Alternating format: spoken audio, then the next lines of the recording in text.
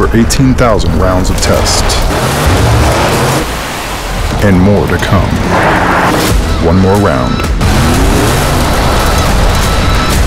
Kia, movement that inspires.